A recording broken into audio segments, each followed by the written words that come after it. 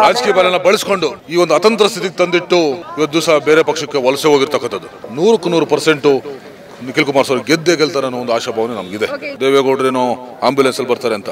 ಅಂತ ಅನಿವಾರ್ಯತೆ ನಮ್ಗೆ ಇನ್ನೂ ಬಂದಿಲ್ಲ ಜೆ ಜೆ ಡಿ ಮತ್ತೆ ಎಂಟನೇ ಬಾರಿ ಕೂಡ ಅವರು ಕಾಂಗ್ರೆಸ್ ಕೂಡ ಚಳ್ಳಣ್ಣಿ ನಿಲ್ಲಿಸ್ತಾರೆ ಅದು ಅವ್ರಿಗೂ ಗೊತ್ತಿದೆ. ಚನ್ನಪಟ್ಟಣ ಬೈ ಎಲೆಕ್ಷನ್ ಕಾವು ಹೆಚ್ಚಾಗಿದೆ. ಈಗ ಅಬ್ಬರದ ಪ್ರಚಾರ ಕೂಡ ನಡೆಸಲಾಗ್ತಾ ಇದೆ. ಜೆಡಿಎಸ್, ಬಿಜೆಪಿ ಮೈತ್ರಿಯಿಂದ ನಿಖಿಲ್ ಕುಮಾರಸ್ವಾಮಿಗೆ ಟಿಕೆಟ್ ಅನೌನ್ಸ್ ಆಗಿದೆ.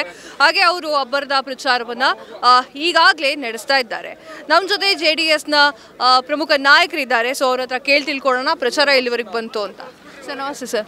ನಮಸ್ತೆ ನಮಸ್ತೆ. ಸರ್ ಪ್ರಚಾರ ಎಲ್ಲಿವರೆಗೆ ಬಂದಿದೆ ಸರ್? ಪ್ರಚಾರ ನಮಗೆ ಸಮಯಾವಕಾಶ ಕಡಿಮೆ ಇದೆ.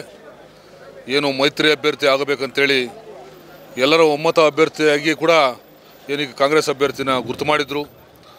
ಅವರ ಒಂದು ಕುತಂತ್ರ ಕಾಂಗ್ರೆಸ್ನವರ ಜೊತೆಗೂಡಿ ಕೊನೆಗಳಿಗೆಯವರು ಕೂಡ ದಿಕ್ಕು ತಪ್ಪಿಸಿ ಹಣದ ಆವಿಷ ತೋಳ್ಬಲ ರಾಜಕೀಯ ಬಲನ ಬಳಸ್ಕೊಂಡು ಈ ಒಂದು ಅತಂತ್ರ ಸ್ಥಿತಿಗೆ ತಂದಿಟ್ಟು ಇವತ್ತು ಸಹ ಬೇರೆ ಪಕ್ಷಕ್ಕೆ ವಲಸೆ ಹೋಗಿರ್ತಕ್ಕಂಥದ್ದು. ಇಂಥ ಒಂದು ಸಂದರ್ಭದಲ್ಲಿ ಕಾಲಾವಕಾಶ ಕಡಿಮೆ ಇದ್ದು, ಆದರೂ ಸಹ ಇದು ಜೆ ಡಿ ಎಸ್ನ ಭದ್ರಕೋಟೆ. ಯಾರೇ ಎಷ್ಟೇ ಕುತಂತ್ರ, ಮೋಸ, ವಂಚನೆ ಅಥವಾ ತಂತ್ರಗಾರಿಕೆ ಮಾಡಿದರೂ ಕೂಡ ಜನ ದಿಕ್ಕೇಡೋದಿಲ್ಲ, ಜನ ಸದೃಢರಾಗಿದ್ದಾರೆ. ಈ ಭಾಗದ ಜನ ಭಾಳ ಪ್ರಬುದ್ಧರಿದ್ದಾರೆ, ಬುದ್ಧಿವಂತರಿದ್ದಾರೆ. ಹಾಗಾಗಿ ನಮ್ಮ ಒಮ್ಮತದ ಅಭ್ಯರ್ಥಿ ಏನು ಸನ್ಮಾನ್ಯ ದೇವೇಗೌಡರ ಮೊಮ್ಮಗ ಕುಮಾರಸ್ವಾಮಿ ಅವರ ಮಗ ಹಾಗೆ ಜೊತೆಗೆ ಮೋದಿಯ ಒಂದು ಅತ್ಯುತ್ತಮವಾದಂಥ ಒಂದು ಜನಪರ ಕಾರ್ಯಕ್ರಮಗಳು ಅವ್ರನ್ನ ಕೈ ಹಿಡಿತವೆ. ಹಾಗಾಗಿ ಯಾವುದು ಧೃತಿಗೆಡೋಂಗಿಲ್ಲ ನೂರಕ್ಕೂ ನೂರು ಪರ್ಸೆಂಟು ನಿಖಿಲ್ ಕುಮಾರಸ್ವಾಮಿ ಗೆದ್ದೇ ಗೆಲ್ತಾರೆ ಅನ್ನೋ ಒಂದು ಆಶಾಭಾವನೆ ನಮಗಿದೆ.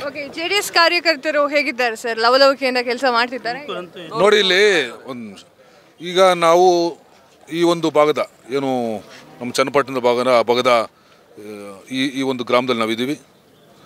ಇಲ್ಲಿ ಕೇವಲ ಗ್ರಾಮಸ್ಥರೇ ಅಂತಲ್ಲ, ಇಡೀ ಕರ್ನಾಟಕದ ಮೂಲೆ ಮೂಲೆಯಿಂದ ಜೆ ಡಿ ಎಸ್ ಕಾರ್ಯಕರ್ತರು ಸ್ವತಂತ್ರವಾಗಿ ಅಭಿಮಾನದಿಂದ ಇವತ್ತು ದಿವಸ ಅಲ್ಲಿ ಸೇರಿದ್ದಾರೆ. ನಾನು ಕೂಡ ಕೋಲಾರದಿಂದ ಇದ್ದೀನಿ. ಅವರು ಮಾಲೂರದಿಂದ ಇದ್ದಾರೆ. ಇನ್ನೊಬ್ಬರು ಚಿಕ್ಕಬಳ್ಳಾಪುರದಿಂದ ಇದ್ದಾರೆ. ಇನ್ನೊಬ್ಬರು ಚಿಕ್ಕಮಗಳೂರಿಂದ ಬಂದಿದ್ದಾರೆ. ಇದು ಯಾವುದೇ ಅಪೇಕ್ಷೆ ಇಲ್ಲದೆ ನಮ್ಮ ಒಂದು ಒಮ್ಮತ ಅಭ್ಯರ್ಥಿನ ಗೆಲ್ಲಿಸಬೇಕಂತೇಳಿ ಕುಮಾರಣ್ಣ ಮತ್ತು ದೇವೇಗೌಡರು ಮತ್ತು ನಮ್ಮ ನರೇಂದ್ರ ಮೋದಿ ಅವರವರ ಒಂದು ಅಭಿಮಾನದ ಮೇಲೆ ಇವತ್ತಿಂದ ದೊಡ್ಡ ಮಟ್ಟದಲ್ಲಿ ಬಂದಿದ್ದಾರೆ. ಇಲ್ಲೇ ಸಾಕು. ಇಲ್ಲೇನೋ ಮೊನ್ನೆ ಏನೋ ಹೇಳಿಕೆ ಕೊಟ್ಟರು ದೇವೇಗೌಡರೇನೋ ಆಂಬ್ಯುಲೆನ್ಸಲ್ಲಿ ಬರ್ತಾರೆ ಅಂತ. ಅಂಥ ಅನಿವಾರ್ಯತೆ ನಮಗೆ ಇನ್ನೂ ಬಂದಿಲ್ಲ ಜೆ ಜೆ ಡಿ ಎಸ್ಗೆ. ಇವತ್ತು ದಿವಸ ಕಾರ್ಯಕರ್ತರು ಒಬ್ಬೊಬ್ಬ ಕಾರ್ಯಕರ್ತರು ಒಂದು ನರೇಂದ್ರ ಮೋದಿ ರೀತಿ ದೇವೇಗೌಡ ರೀತಿ ಕುಮಾರಸ್ವಾಮಿ ರೀತಿ ಯಡಿಯೂರಪ್ಪ ರೀತಿಯಲ್ಲಿ ಕೆಲಸ ಮಾಡ್ತಕ್ಕಂಥ ಒಂದು ಶಕ್ತಿ ಸೈನಿಕರ ರೀತಿಯಲ್ಲಿ ಕೆಲಸ ಇರೋದ್ರಿಂದ ಅಂಥ ಅನಿವಾರ್ಯತೆ ಗುಣ ಬಂದಿಲ್ಲ. ಅಂಥ ಒಂದು ಸಣ್ಣ ಒಂದು ಹೇಳಿಕೆ ಕೊಡ್ತಕ್ಕಂಥದ್ದನ್ನು ಸಣ್ಣ ಥರದ ಹೇಳಿಕೆ ತುಚ್ಚ ಹೇಳಿಕೆ ಕೊಡೋದನ್ನು ದಯವಿಟ್ಟು ನಿಲ್ಲಿಸಬೇಕು. ಆ ನಿಟ್ಟಿನಲ್ಲಿ ಜೆ ಡಿ ಎಸ್ ಭದ್ರಕೋಟೆ ಗೆದ್ದೇ ಗೆಲ್ತಾರೆ. ಅಭಿಮಾನ ದೊಡ್ಡ ಮಟ್ಟದಲ್ಲಿದೆ.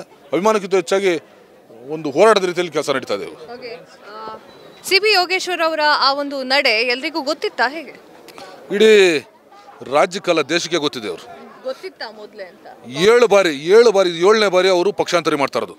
ಅದೇನು ಹೊಸದೇನಲ್ಲ. ಮತ್ತೆ ಎಂಟನೇ ಬಾರಿ ಕೂಡ ಅವರು ಕಾಂಗ್ರೆಸ್ ಕೂಡ ಚಳ್ಳಣ್ಣಿ ನಿಲ್ಲಿಸ್ತಾರೆ. ಅದು ಅವ್ರಿಗೂ ಗೊತ್ತಿದೆ. ಹಾಗಾಗಿ ಈ ಸಾರಿ ಬೇಳೆ ಬೇಯಿಸ್ಕೊಳ್ಳಿಕ್ಕೆ ಹೊರಟಿದ್ದಾರೆ. ಕಾಂಗ್ರೆಸ್ ಇಲ್ಲೇ ಸು ಗೊತ್ತಾಗುತ್ತೆ. ಕಾಂಗ್ರೆಸ್ನಲ್ಲಿ ಅಭ್ಯರ್ಥಿನೇ ಇರಲಿಲ್ಲ.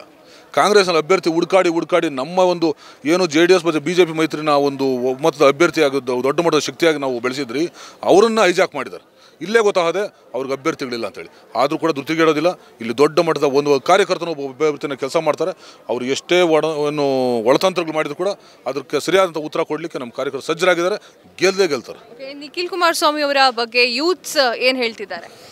ನೋಡಿ ಯುವಕರು ಜೊತೆಗೆ ಹಿರಿಯರು ನನ್ನ ತಾಯಂದಿರು ದೊಡ್ಡ ಮಟ್ಟದಲ್ಲಿ ಕೆಲಸ ಮಾಡ್ತಿದ್ದಾರೆ. ಅವರೇ ವಾಲಂಟಿಯರಾಗಿ ಸ್ವತಂತ್ರವಾಗಿ ಎಲ್ಲಿ ಪ್ರಚಾರಕ್ಕೆ ಹೋದರೆ ಪ್ರಚಾರಕ್ಕೆ ಬರ್ತಾ ಇದ್ದಾರೆ. ಇಲ್ಲೇ ಗೊತ್ತಾಗದೆ ಅವರ ಒಂದು ನಡೆ, ನುಡಿ, ಗುಣ ಎಲ್ಲೂ ಕೂಡ ಗೊತ್ತಾಗದೆ ಎಲ್ಲೂ ಕೂಡ ಅವರು ಬೇರೆ ರೀತಿಯಾದಂಥ ಒಂದು ಇಬ್ಬದ ಒಂದು ನೀಟಿಗೆ ಹೇಳಿಕೆ ಕೊಡೋದು, ಅವ್ರಿಗೆ ಸಮಾಜದ ವಿರುದ್ಧ ವಿರೋಧಿ ಹೇಳಿಕೆ ಕೊಡೋದು ಅದು ಯಾವುದೂ ಮಾಡೋದಿಲ್ಲ.